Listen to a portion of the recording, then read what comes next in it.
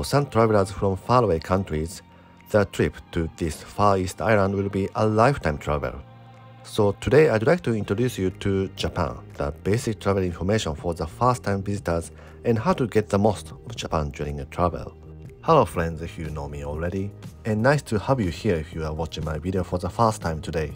My name is Kengo, I'm a Japanese guy making a video about tips and ideas for visitors coming to Japan. If you started to think of traveling to Japan, or if you already have a plan to visit, I hope this video gives you some ideas. But please note that there are 100 different ways to travel for 100 different travelers. Now let's overview the travel situation in Japan.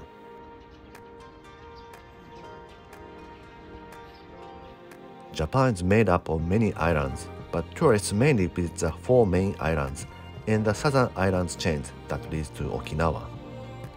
70% of the country is covered with deep mountains and forests, including volcanoes. This makes moving around the country not as easy as it looks on the map. However, Shinkansen are high-speed railways and local trains connect between places with many tunnels and bridges. In addition, there are nearly 100 passenger airports in every region of the country, and most destinations have direct flights from Tokyo. So with some investigation on maps and timetables, you can make your own travel routes in Japan. Japan is considered as a relatively safe country. According to the article by American security company ADT in June 2023, Japan ranked as the most safe country in the world. It says you can be assured of safety of you and your family. So even if you are visiting Japan for the first time or even if it's your first international trip, you can travel to every corner of the country as long as you observe basic safety behaviors like not following anyone just as you do in your country. The site of US Department of State says level 1, which is exercise normal precautions. So you can focus on exploring different scenery, culture, and different foods. Japan's border is fully open now to international travelers. Many countries have visa waiver program to Japan, including US, Canada, Australia, and European countries, Singapore, and many more countries.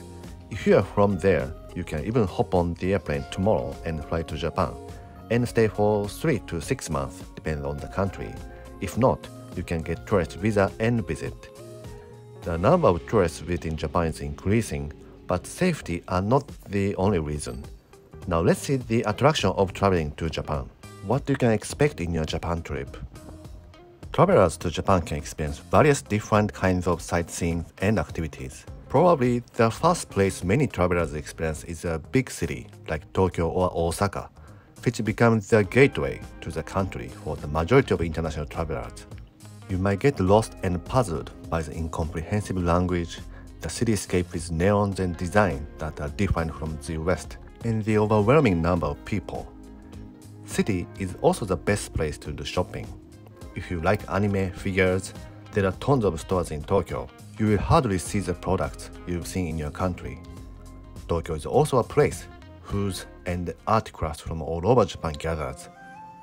The second purpose of your trip is to see Japanese temples and shrines that reflects Japanese traditional Buddhism and Shinto belief. In Japan, there are still wooden temples that were built hundreds of years ago. You can immerse yourself in a sanctuary atmosphere that created from the prayers of people from ancient times. You can also see sophisticated art and Japanese garden that you feel peace in your mind. These can be seen especially in the old capitals of Kyoto and Nara. Japanese people respect and enjoy tradition. It would be interesting to touch the spiritual aspect of the local Japanese people. The third reason of traveling to Japan is the great nature. One of them is a symbol of Japan, Mount Fuji, that you can visit on a day trip from Tokyo. You might have seen tons of photos and videos already, but the impact of the beautiful form makes it worth visiting all the way to see in your own eyes. There are many deep mountains in the central part of Japanese islands, including volcanoes, that you can enjoy the view of dynamic nature and also if you like to get more into physical activities, you can enjoy light trekking and skiing in winter. Of course, you cannot overlook the coastal scenery and beach activities too. When it comes to the nature, something greatly impact on the culture of Japan is hot springs. that Japanese people call onsen. You can enjoy the culture of public bathhouse in the city too. But something you can enjoy even more is staying at Japanese-style inn called ryokan that are often come with natural hot springs. You can enjoy the unique travel style that Japanese people enjoy, having dinner and breakfast with local produces and cuisines, as you enjoy bathing in natural hot spring water many times. During travel, something becomes important part of your trip is Japanese food. For some travelers, that is the most important thing for travel. You can enjoy authentic Japanese foods such as sushi, tempura, and soba, and also casual foods such as ramen and Japanese style curry that are inspired by different ethnic foods. Some seafoods and traditional foods like eel might be a little challenging for some travelers, but it might be interesting to try for experience within your belief and considering physical condition. Japan is divided into 47 administrative regions called either To, Do, Fu, or Ken in Japanese. Only Tokyo calls the administrative name To.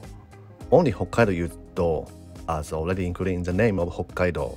Only Kyoto and Osaka use Fu, and all others are Ken. Even though Japan is not a big country, each region inherits regional characteristics from all times. If the region is facing different seas, the climates differ greatly and people speak different accent. In most of the regions, there are specialty cuisines and souvenirs you can get that are unique to the region. Finding the difference between each region is one of the real fun of traveling in Japan. Also, what you can enjoy in foods and scenery change depends on the season you visit. Cherry blossom in spring, dark green and festivals in summer, autumn leaves, in winter, while Tokyo stays sunny most of the days, some regions not far from Tokyo are covered by deep snow in winter. You can enjoy different seasonal colors in different parts of Japan. Even though there are many reasons to come to Japan, you don't have to feel pressure to do everything. Sometimes stay away from daily hustle and just being in another country and being among the local people's life or finding one favorite place makes the travel worth doing it. We already know the safety of Japan by now, but what about the comfort in Japan for each specific group? How the experience would be for seniors, travelers with less mobility, family with small children, LGBT group, and female solo travelers, and others. Let's start from the travelers with less mobility. The challenges of travel varies depends on the traveler's condition, but the most of the hotels and train stations comes with elevator. In the major cities, Almost all stations have elevator and wheelchair accessible bathroom too. Many traditional sightseeing spots like temples, for example, Sensoji Temple in Asakusa, Fushimi Inari Shrine in Kyoto, there are elevators prepared for the travelers with less mobility. From my limited experience abroad, Japanese cities are walkable and streets are smooth. Just be aware of the bicycle that is parked on the street or comes randomly from behind you. But there are cons like language barrier to ask for support and sometimes difficult to find elevators in stations like a maze.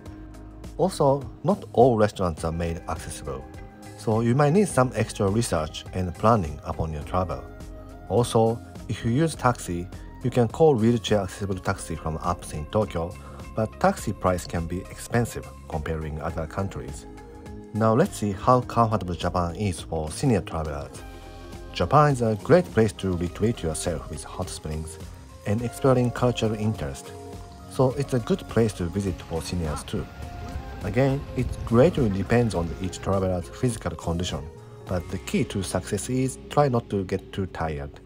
Having some more allowance in itinerary, sometimes give a place that you have to walk so much for not much, spare some budget for using taxi, and also avoiding midsummer travel might make the travel more comfortable. For more of those tips, Please also see my other city videos and hotel train videos from my library.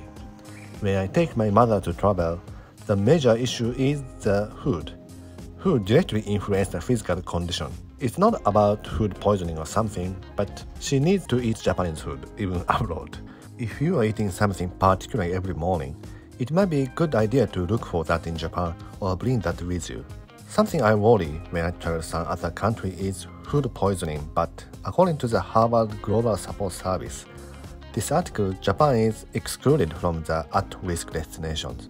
So usually you don't have to worry about it and you can focus on exploring different scenery, culture and different foods. But Japan is not the best place for the certain diet.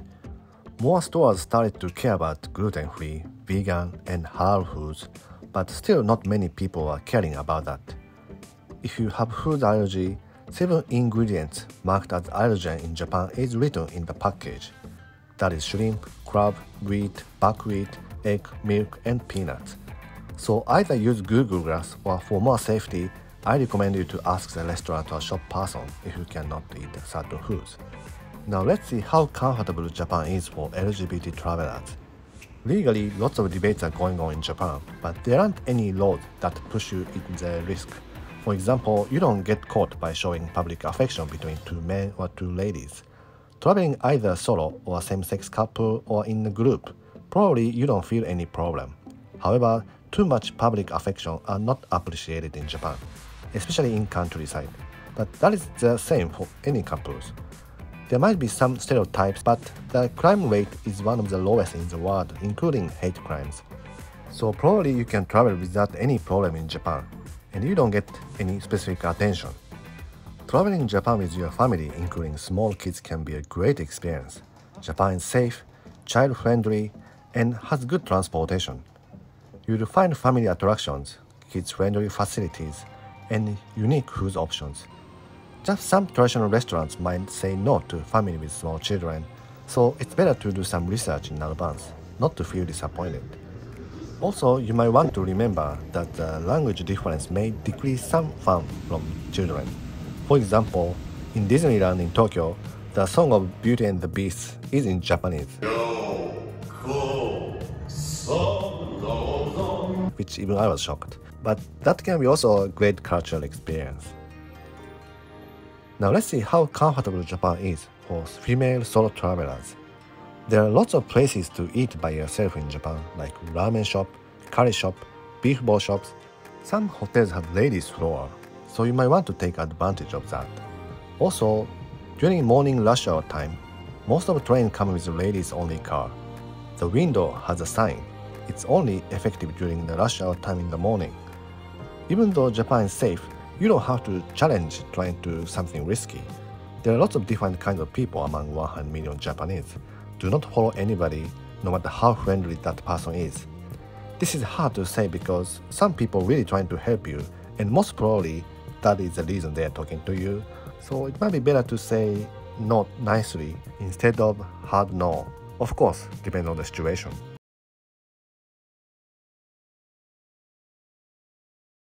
When you start planning a trip to Japan, you might wonder where in Japan you should put in your itinerary.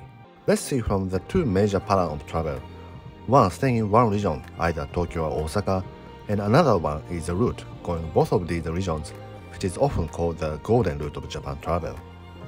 First and probably the easiest itinerary is staying in one area, either Tokyo or Osaka, and make a day trip or one night trip to surrounding areas.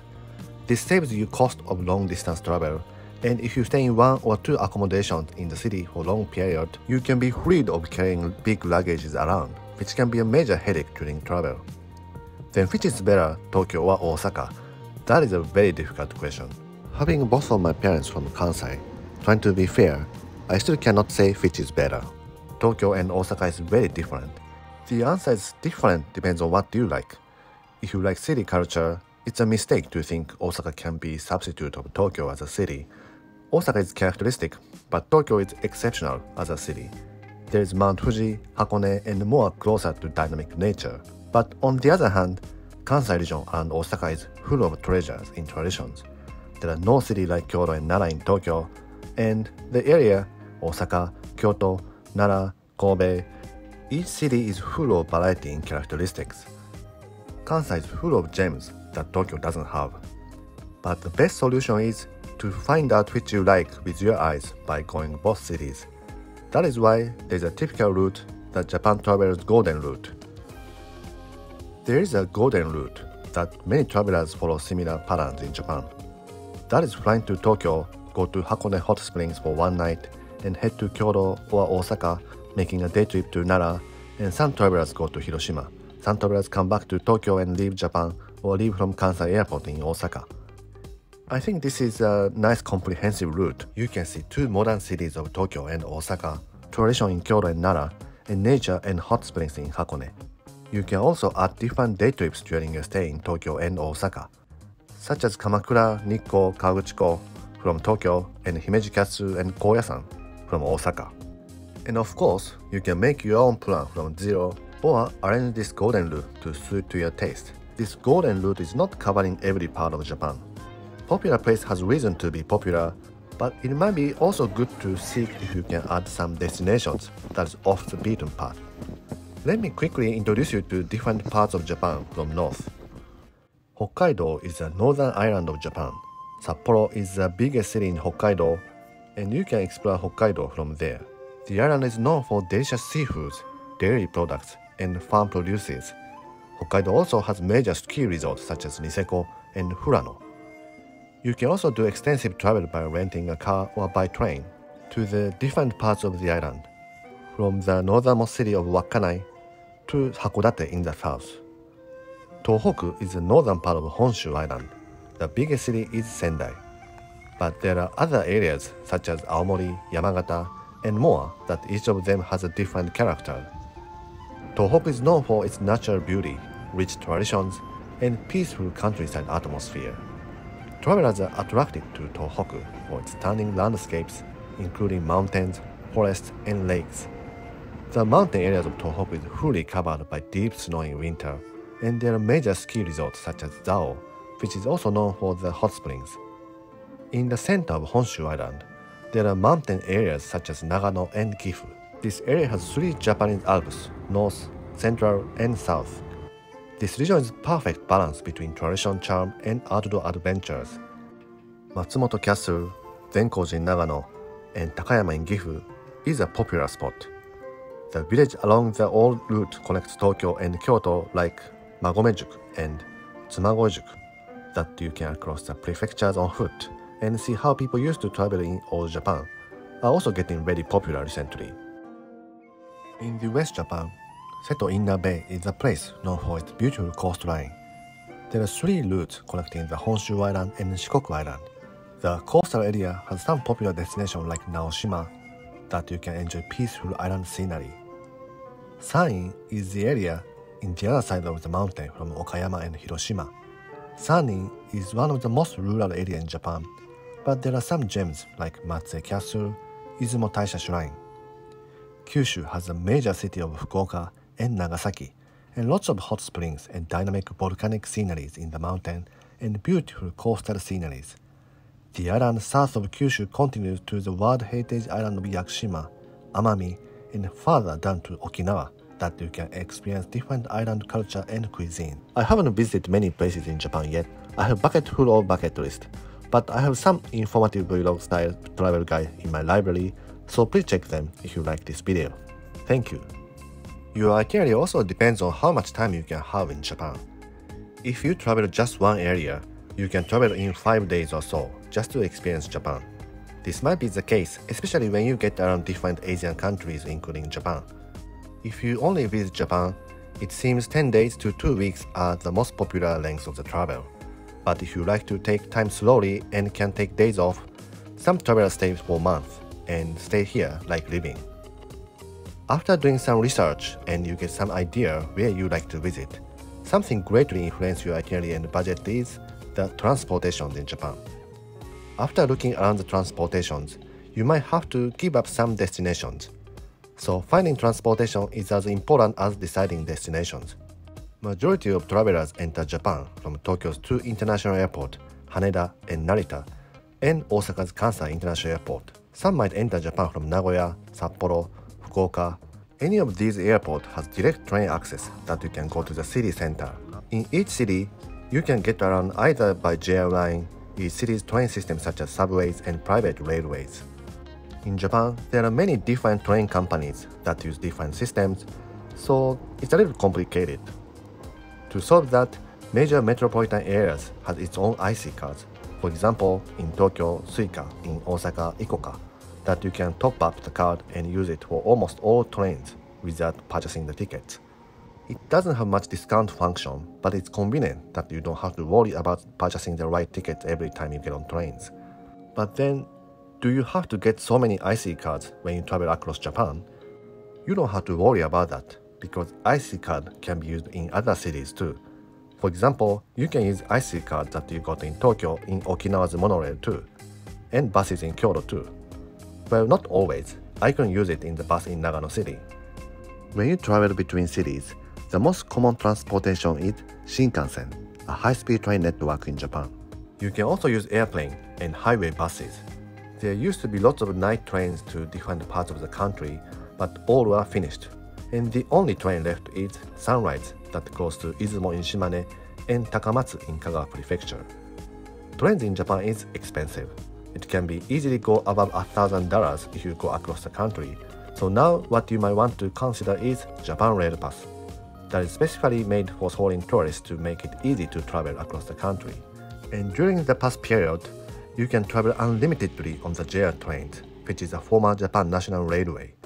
Not all trains are JR lines in Japan, and some Shinkansen are excluded from the pass, but it covers most of the long-distance rail networks in Japan. If you like to make a single ride from places to places for low cost, highway bus is one of the choice. Usually, the price of bus is much lower than the regular train fares. The major concern is it takes time and tiring, so not for everyone. If you like to minimize the time you are sitting on the seat, airplane is another choice. There are two major carriers in Japan, Japan Airlines and ANA are flying to almost all regions and islands in Japan, but prices are not always favorable for minor routes. If you like to save more, you might be able to purchase early or find low-cost carrier Japan has similar low-cost carriers such as Peach and Jetstar. The con is route is limited, and in Tokyo it uses Narita Airport, which can take time just to get to the airport. Airports in countryside can also be located in the far away from the city center, while Fukuoka Airport is only two stations from the major station Hakata. Hiroshima Airport is located far away from the city center, and it takes about one hour by bus. But even with these transportations, some places are not accessible or takes too long to get there. In that case, you can also consider rental car. It's not a popular method among international tourists, considering the process of getting the international driver's license and risk of driving in a new country. In Japan, you drive left side. But some places like Okinawa and Hokkaido and southern Kyushu, renting a car makes a big difference on what you can see.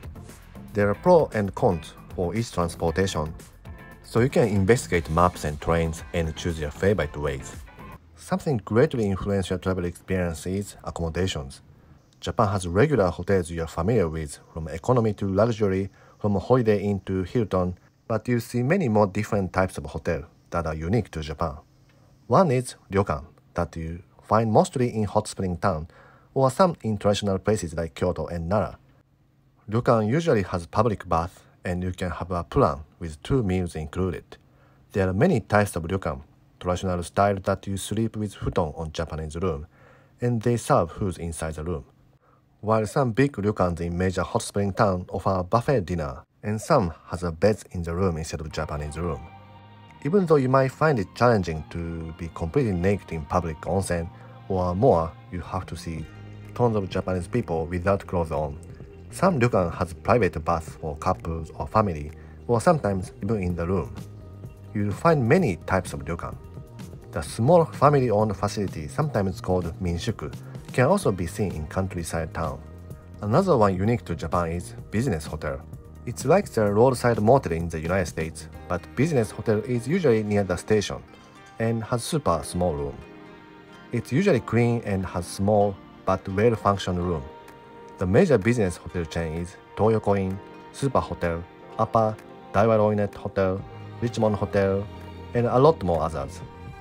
If you seek more budget-friendly super economy hotel, you might be able to consider capsule hotel. If you like to communicate with other travelers more, you might want to use youth hostels. For accommodation, you can also find shukubo that you can stay at the Buddhism temple. In the morning, you can attend morning chant. You can feel special that you are in the part of the culture. So after you decide your destination and transportation roughly, you might want to start looking into the accommodations and find your favorite one. I hope it could give you some idea about Japan trip. Thank you for watching. Have a great trip to Japan. Have a great week. Until the next video.